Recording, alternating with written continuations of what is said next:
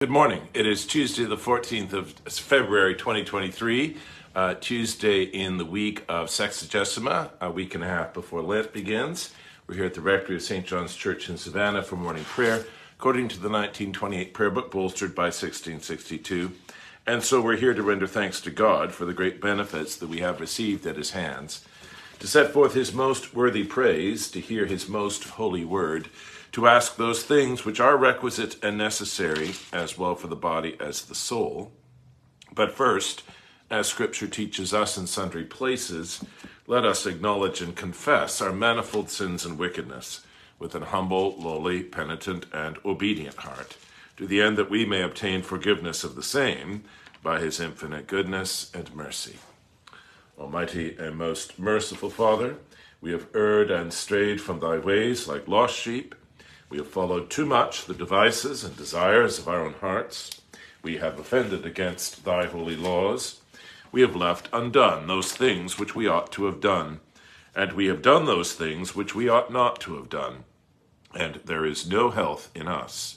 But thou, O Lord, have mercy upon us, miserable offenders. Spare thou those, O God, who confess their faults. Restore thou those who are penitent according to thy promises declared unto mankind in Christ Jesus our Lord. And grant, O most merciful Father, for his sake, that we may hereafter live a godly, righteous, and sober life, to the glory of thy holy name. Amen. Almighty God, the Father of our Lord Jesus Christ, who desireth not the death of a sinner, but rather that he may turn from his wickedness and live, hath given power and commandment to his ministers to declare and pronounce to his people, being penitent, the absolution and remission of their sins. He pardoneth and absolveth all those who truly repent and unfeignedly believe his holy gospel. Wherefore, let us beseech him to grant us true repentance and his Holy Spirit, that those things may please him which we do at this present, and that the rest of our life hereafter may be pure and holy, so that at the last we may come to his eternal joy through Jesus Christ our Lord. Amen. Our Father, who art in heaven, hallowed be thy name. Thy kingdom come, thy will be done, on earth as it is in heaven. Give us this day our daily bread, and forgive us our trespasses, as we forgive those who trespass against us. And lead us not into temptation, but deliver us from evil. Thine is the kingdom, and the power, and the glory, for ever and ever. Amen. O Lord, open thou our lips, and our mouth shall show forth thy praise. O God, make speed to save us. O Lord, make haste to help us. Glory be to the Father, and to the Son, and to the Holy Ghost, as it was in the beginning, is now, and ever shall be, world without end. Amen. Praise ye the Lord. The Lord's name be praised. O come, let us sing unto the Lord. Let us heartily rejoice in the strength of our salvation. Let us come before his presence with thanksgiving, and show ourselves glad in him with psalms. For the Lord is a great God, and a great King above all gods. In his hand are all the corners of the earth, and the strength of the hills is his also. The sea is his, and he made it, and his hands prepared the dry land. Oh, come, let us worship, and fall down, and kneel before the Lord our Maker. For he is the Lord our God, and we are the people of his pasture and the sheep of his hand. Today, if ye will hear his voice, harden not your hearts, as in the provocation, and as in the day of temptation in the wilderness, when your fathers tempted me, proved me, and saw my works. Forty years long was I grieved with this generation, and said, It is a people that do err in their hearts, for they have not known my ways, and to whom I swear in my wrath that they should not enter into my rest. Glory be to the Father, and to the Son, and to the Holy Ghost as it was in the beginning, is now, and ever shall be, world without end. Amen. You know, there's kind of two halves to that invitatory psalm, that call to worship. On the one side, this call to indeed to worship, to delight in the Lord, to delight in the strength of our salvation, to to delight in the fact that the Almighty uh, Creator, uh, infinite in wisdom, power, and goodness, has claimed us for His own, has made Himself His own people. And then the other half is this, uh, you know, claim on our word, on our attentive listening to His word, of our taking it to heart. Um, and uh, of course, the two things are they're not separate. They're in a certain sense. Uh, if we do delight in the Lord, uh, and in his grace toward us, then we will most certainly give heed to his words. And if we don't give heed to our words, it's because we don't delight in the Lord. So these two things um, work together, and they are indeed the very substance of our worship. The Psalms uh, today, for the 14th day of the month, um, are Psalm 71 and 72. That begins on page 425 in the 1928 prayer book. Psalm 71 is a psalm of David in his old age, and against uh, his failing strength, he sets um, uh, the living memory of God's faithfulness and a growing hope of his power. In thee, O Lord, have I put my trust. Let me never be put to confusion, but rid me and deliver me in thy righteousness. Incline thine ear unto me and save me. Be thou my stronghold, whereunto I may always resort. Thou hast promised to help me, for thou art my house of defense and my castle. Deliver me, O my God, out of the hand of the ungodly, out of the hand of the unrighteous and cruel man. For thou, O Lord God, art the thing that I long for. Thou art my hope, even from my youth. See, he doesn't want God for the sake of the things that God can give. He wants God. Through thee have I been holding up ever since I was born. Thou art he that took me out of my mother's womb. My praise shall be always of thee. I am become as it were a monster unto many, but my sure trust is in thee. Let my mouth be filled with thy praise, that I may sing of thy glory and honor all the day long. Cast me not. Now, so now he comes to the the uh, um, heart of, uh, so often the Psalms are organized in a kind of chiasmic way, like Chinese dolls or Russian dolls, and uh, so the, the very center is often the critical part. Cast me not away in the time of age, forsake me not when my strength faileth me. For mine enemies speak against me, and they that lay wait for my soul take their counsel together, saying, God hath forsaken him, persecute and take him, for there is none to deliver him. And of course, here David is speaking prophetically of great his, his much greater son, uh, Jesus. Go not far from me, O God. My God, haste thee to help me. Let them be confounded and perish that are against my soul. Let them be covered with shame and dishonor that seek to do me evil. As for me, so now he turns from present uh, uh, pressing uh, petitions to um, and, and, and, there's a note of rising hope here. As for me, I will patiently abide always and will praise thee more and more. My mouth shall daily speak of thy righteousness and salvation, for I know no end thereof. I will go forth in the strength of the Lord God, and will make mention of thy righteousness only. Thou, O God, hast taught me from my youth up until now, therefore will I tell of thy wondrous works. Forsake me not, O God, in mine old age when I am grey headed until I've showed thy strength unto this generation, and thy power is uh, to all them that are yet for to come. Thy righteousness, O God, is very high, and great things are they that thou hast done, O God, who is like unto thee. O what great troubles and adversities hast thou showed me, and yet didst thou turn and refresh me, yea, and broughtest me from the deep of the earth again.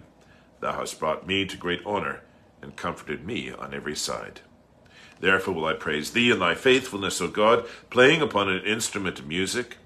Unto thee will I sing upon the harp, O thou Holy One of Israel. My lips will be glad when I sing unto thee, and soul my soul whom thou hast delivered.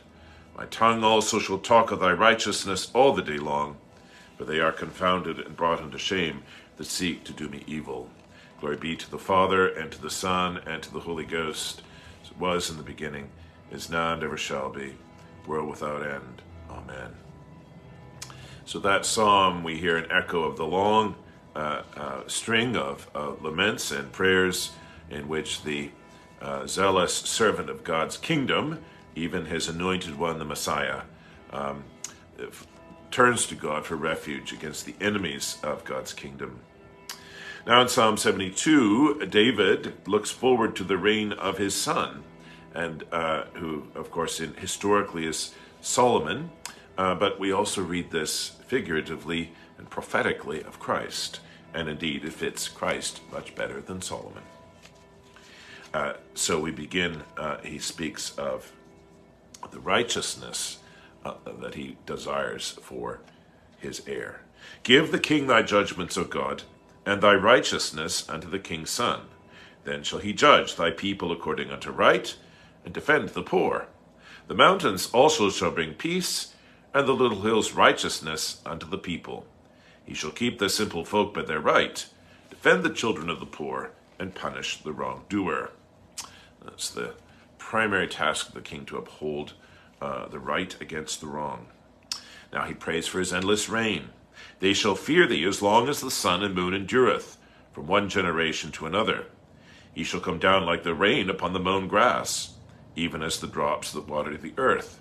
In his time shall the righteous flourish, yea, an abundance of peace, so long as the moon endureth. So his righteous reign is to be endless, but also to be boundless.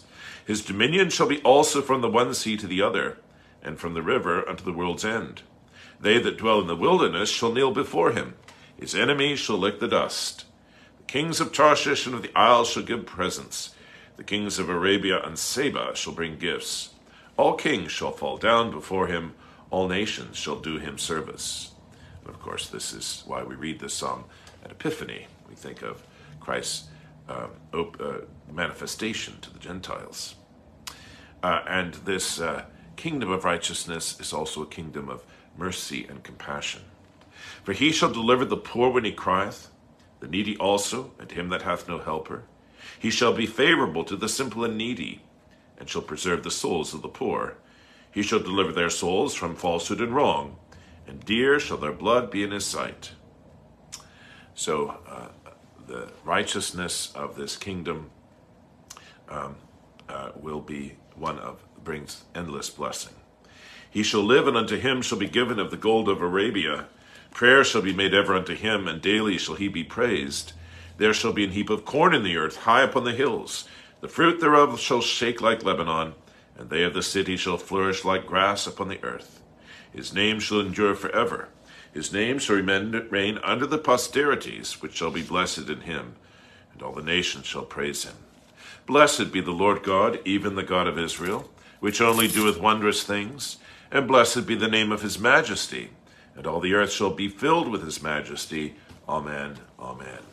Glory be to the Father, and to the Son, and to the Holy Ghost, as it was in the beginning, is now, and ever shall be, world without end. Amen. Here beginneth the 19th chapter of the first book of Moses called Genesis. Uh, the lectionary wants us to jump over, uh, in a fit of delicacy, uh, the, the uh, some of this passage. We're going to read the whole of it. Um, it's a story, of course, both of judgment and deliverance. Um, judgment on uh, the uh, cities of the plain for their, what is in broad sense, their sin against the duty of hospitality, um, uh, but of course has a very particular focus in uh, how that malice towards the other is expressed. And, uh, and then the deliverance, barely, of Lot. And this is all he's delivered, indeed, um, through the intercession of Abraham, as we read uh, at evening prayer yesterday. And there came two angels to Sodom at even, and Lot sat in the gate of Sodom. And Lot, seeing them, rose up to meet them. And he bowed them himself with his face toward the ground. And he said, Behold, now, my lords, I turn in, I pray you, into your servant's house and tarry all night, and wash your feet, and ye shall rise up early and go on your ways. And they said, Nay, but we will abide in the street all night. And he pressed upon them greatly. And they turned in unto him, and entered into his house. And he made them a feast, and did bake unleavened bread, and they did eat. So Lot honors the sacred duty of hospitality, just as Abraham had. But before they lay down, the men of the city, even the men of Sodom, compassed the house round, both old and young, all the people from every quarter. And they called unto Lot, and said unto him, Where are the men which came in unto thee this night? Bring them out unto us, that we may know them. Uh, so a kind of suspicion, hostility towards the outsider. Of course, a ambiguity in the word know. Is this intellectual knowing or sexual knowing? And Lot went out at the door unto them, and shut the door after him, and said, I pray you, brethren, do not so wickedly. Lot divines their uh, malicious intent. Behold, now I have two daughters which have not known man.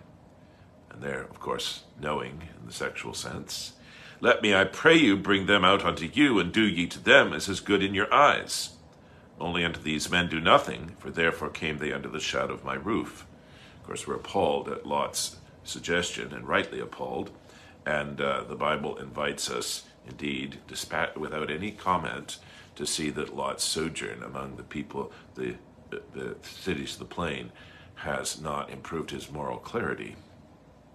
And they said, Stand back. And they said again, This one fellow came into sojourn, and he will needs be a judge. We now will we deal worse with thee than with them. And they pressed sore upon the man, even Lot, and came near to break down the door. But the men, the angels, put forth their hand, and pulled Lot into the house to them, and shut to the door. And they smote the men that were at the door of the house with blindness, both small and great, so that they wearied themselves to find the door. And the men said unto Lot, Hast thou here any besides? Son in law, and thy sons and thy daughters, and whatsoever thou hast in the city, bring them out of this place. An echo, of course, of Noah's uh, deliverance with his family. For we will destroy this place, because the cry of them is waxen great before the face of the Lord, and the Lord hath sent us to destroy it. And Lot went out, and spake unto his sons in law, which married his daughters, and said, Up, get you out of this place, for the Lord will destroy this city but he seemed as one that mocked unto his sons in law. Uh, again, one sees um, Lot's, Lot's failure here, uh, not only his own moral vision, but to, to uh, his failure to transmit um, uh, the uh, way of the Lord uh, to his family. And when the morning arose, then the angels hastened Lot, saying, Arise. there's a little Jude appearance here. Arise, take up thy wife and thy two daughters, which are here, lest thou be consumed in the iniquity of the city. And while he lingered, the men laid hold upon his hand, and upon the hand of his wife, and upon the hand of his two daughters, the Lord being merciful unto him. And they brought him forth, and set him without the city. So we may feel this is a compassion which Lot hasn't deserved, and no doubt that's the case. And it came to pass, when they had brought them forth abroad, that he said, Escape for thy life. Look not behind thee, neither stay thou in all the plain. Escape to the mountain, lest thou be consumed. And Lot said unto them, O not so, my lord. Behold, now thy servant hath found grace in thy sight, and thou hast magnified thy mercy which thou hast showed unto me in saving my life. And I cannot escape to the mountain, lest some evil take me, and I die. Behold, now this city is near to flee unto, and it is a little one. O let me escape thither. Is it not a little one? And my soul shall live. And he said unto him, See, I have accepted thee concerning this thing also, that I will not overthrow this city for the which thou hast spoken. Haste thee, escape thither, for I cannot do anything till thou be come thither. Therefore the name of the city was called Zoar, which means little. The sun was risen upon the earth when Lot entered into Zoar. Then the Lord rained upon Sodom and upon Gomorrah brimstone and fire from the Lord out of heaven. And he overthrew those cities and all the plain and that which grew upon the ground. But his wife looked back from him, and also, and she became a pillar of salt. A, a kind of eloquent symbol of a failure to resolutely turn from the cities of this world unto the judgment of God. And Abraham got up early in the morning to the place where he stood before the Lord. And he looked toward Sodom and Gomorrah, and toward all the city land of the plain, and beheld, and lo, the smoke of the country went up as the smoke of a furnace. And it came to pass, when God destroyed the cities of the plain, that God remembered Abraham, and sent Lot out of the midst of the overthrow, when he overthrew the cities in the which Lot dwelt. So um, it is Abraham's intercession that has won Lot's deliverance.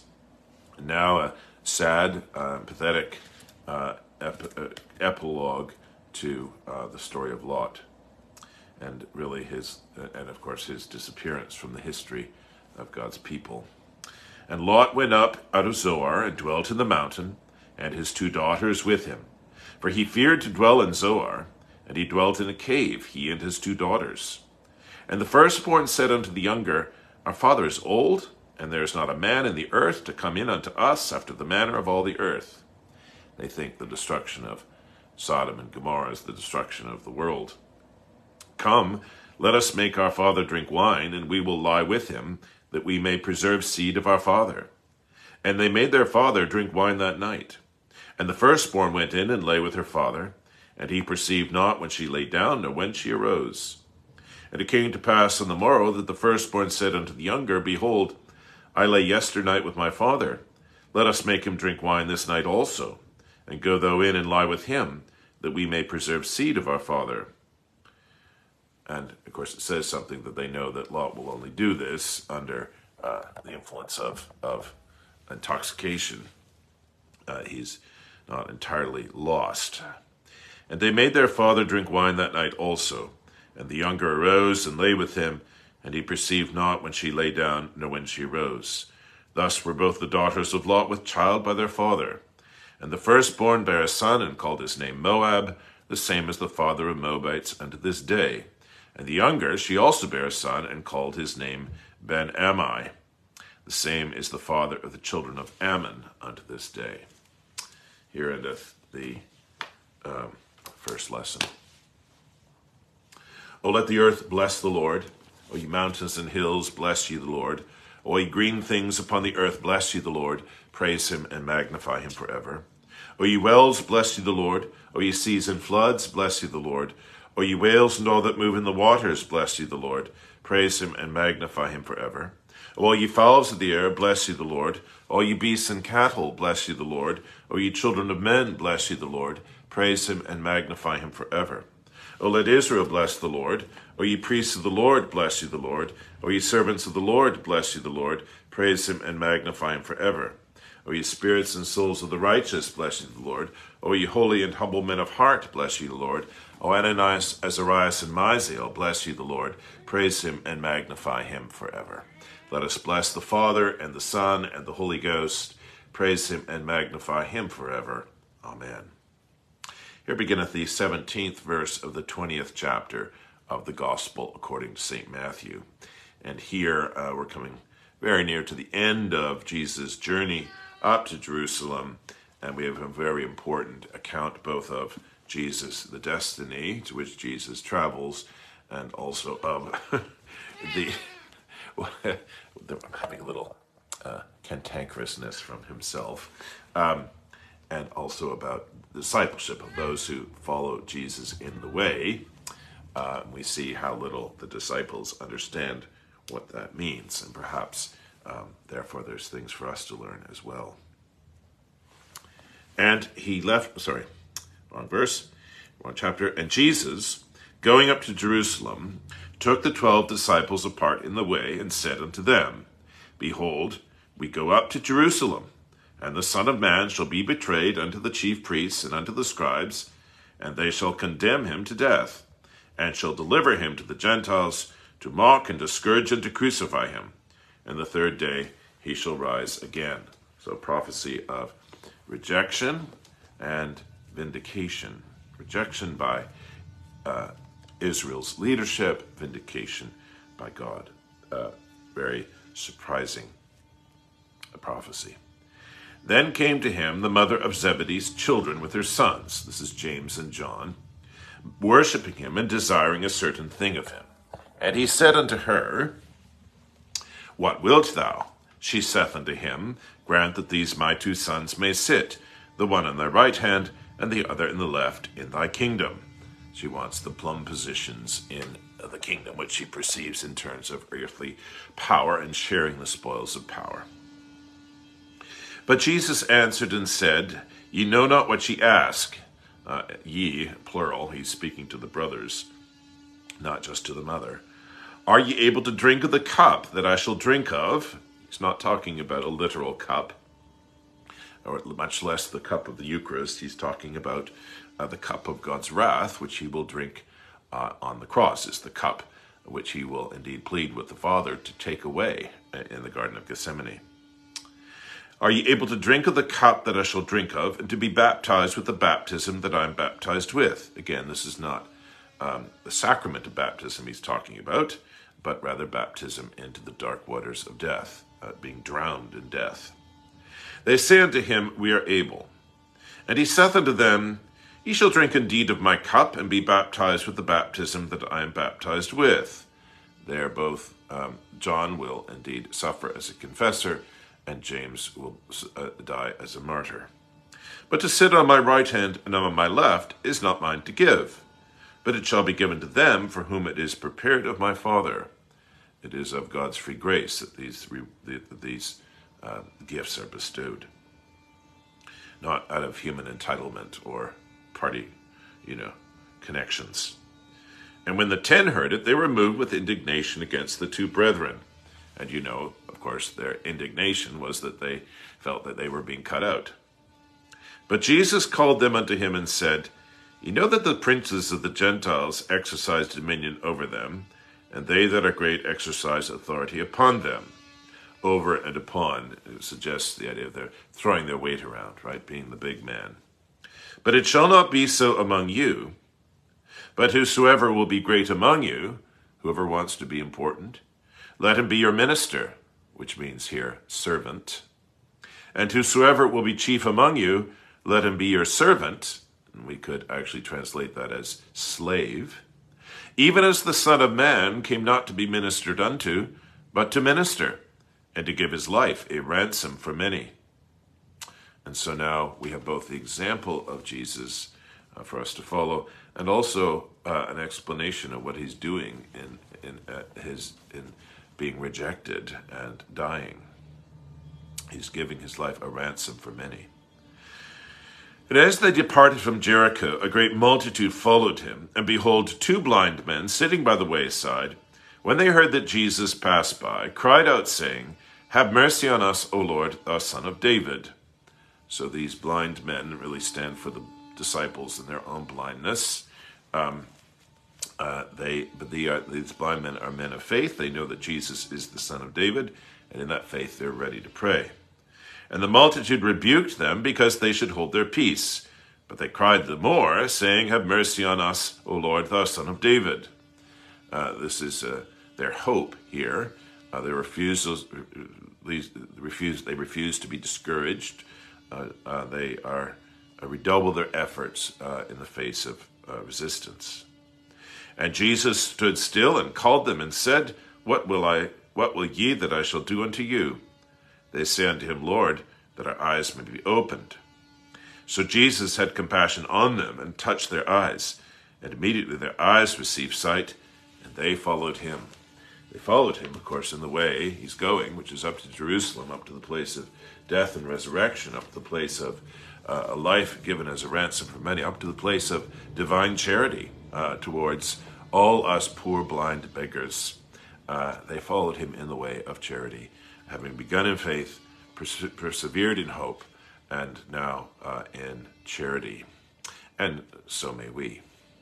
Blessed be the Lord God of Israel, for he hath visited and redeemed his people, and hath raised up a mighty salvation for us in the house of his servant David, as he spake by the mouth of his holy prophets, which have been since the world began, that we should be saved from our enemies and from the hand of all that hate us to perform the mercy promised to our forefathers, and to remember his holy covenant, to perform the oath which he sware to our forefather Abraham, that he would give us, that we being delivered out of the hand of our enemies, might serve him without fear, in holiness and righteousness before him all the days of our life. And thou, child, shalt be called the prophet of the highest, for thou shalt go before the face of the Lord to prepare his ways to give knowledge of salvation unto his people for the remission of their sins, through the tender mercy of our God, whereby the day spring from on high hath visited us, to give light to them that sit in darkness and in the shadow of death, and to guide our feet into the way of peace. Glory be to the Father, and to the Son, and to the Holy Ghost, as it was in the beginning, is now, and ever shall be, world without end. Amen. I believe in God, the Father Almighty, maker of heaven and earth, and in Jesus Christ, his only Son, our Lord, who was conceived by the Holy Ghost, born of the Virgin Mary, suffered under Pontius Pilate, was crucified, dead, and buried. He descended into hell. The third day he rose again from the dead. He ascended into heaven, and sitteth on the right hand of God the Father Almighty. From thence he shall come to judge the quick and the dead. I believe in the Holy Ghost, the Holy Catholic Church, the communion of saints, the forgiveness of sins, the resurrection of the body, and the life everlasting. Amen. The Lord be with you, and with thy spirit. Let us pray. Bid your prayers for all sorts and conditions of men throughout the world, that God's ways may be known unto them, his saving health among all nations. I bid your prayers for Christ's holy Catholic Church, that it may be so guided and governed by his good Spirit, that all who profess and call themselves Christians may be led into the way of truth, and hold the faith, unity of spirit, in the bond of peace, and in righteousness of life. I bid your prayers for this country of ours and all countries, this state, uh, county, city, for their peace, order, and good government, and for the deliverance of the peoples of the world from misery, strife, and oppression. Bid your prayers especially for the people of Ukraine and also of Turkey and Syria.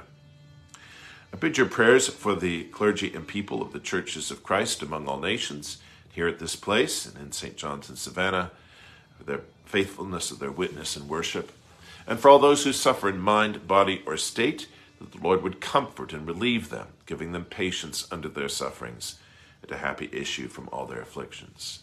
Bid your prayers for all those suffering from debilitating injury or infirmity, especially stroke, uh, for criti- uh, critical illness, chronic pain, cognitive impairment, all those dealing with anxiety, depression, or mental illness, those facing the challenge of sobriety, for the very old and the very young and their caregivers, for widows and orphans, for the abandoned and the abused, for the hungry and the homeless, for refugees, prisoners, and captives, for all women in childbirth, for those who are grieving, those who are dying, and those who have departed this life in the faith of Christ and at rest in Him, that we with them may rise to glory. In this day, that being safe under the protection of the divine mercy, we may serve and please the Lord in everything that we do, and be conformed thereby to the likeness of His Son. Lord, have mercy upon us. Christ, have mercy upon us. Lord, have mercy upon us. Our Father, who art in heaven, hallowed be thy name. Thy kingdom come, thy will be done, on earth as it is in heaven. Give us this day our daily bread, and forgive us our trespasses, as we forgive those who trespass against us. And lead us not into temptation, but deliver us from evil. Amen. O Lord, show thy mercy upon us and grant us thy salvation. O Lord, save the state, and mercifully hear us when we call upon thee. Endue thy ministers with righteousness, and make thy chosen people joyful. O Lord, save thy people, and bless thine inheritance. Give peace in our time, O Lord, for it is thou, Lord, only that makest us dwell in safety. O God, make clean our hearts within us, and take not thy Holy Spirit from us. O Lord God, who seest that we put not our trust in anything that we do. Mercifully grant that by thy power we may be delivered, defended against all adversity. Through Jesus Christ, thy Son, our Lord, who liveth and reigneth with thee in the Holy Ghost ever, one God, world without end. Amen. God, who art the author of peace and lover of concord, in knowledge of whom standeth our eternal life, whose service is perfect freedom, defend us, thy humble servants, in all assaults of our enemies that we, surely trusting in thy defense, may not fear the power of any adversaries, through the might of Jesus Christ our Lord. Amen. O Lord, our heavenly Father, almighty and everlasting God, who has safely brought us to the beginning of this day, defend us in the same with thy mighty power, and grant that this day we fall into no sin, neither run into any kind of danger, but that all our doings, being ordered by thy governance, may be righteous in thy sight. Through Jesus Christ our Lord. Amen. The seed is the word of God. Those by the wayside are they that hear, then cometh the devil and taketh away the word out of their hearts, lest they should believe and be saved. That's the cynical. They on the rock are they which, when they hear, receive the word with joy. And these have no root, which for a while believe, in time of temptation, trial, hardship, fall away. Those are those, uh, that's the uh, work of the flesh. And that which fell among thorns, flesh, of course, cannot endure discomfort, displeasure for the sake of the gospel. And that which fell among thorns are they which, when they have heard, go forth and are choked with cares and pleasures and riches of this life, and bring no fruit to perfection. That's the world. But that on the good ground are they which, in an honest and good heart, having heard the word, keep it, and bring forth fruit with patience. May you bring forth fruit with patience, having held on to, kept, received the word of God. The grace of our Lord Jesus Christ and the love of God and the fellowship of the Holy Ghost be with us all evermore. Amen. The good Lord order this day and your doings in his peace and grant you your prayers as may be most expedient for you uh, according to his good and perfect will.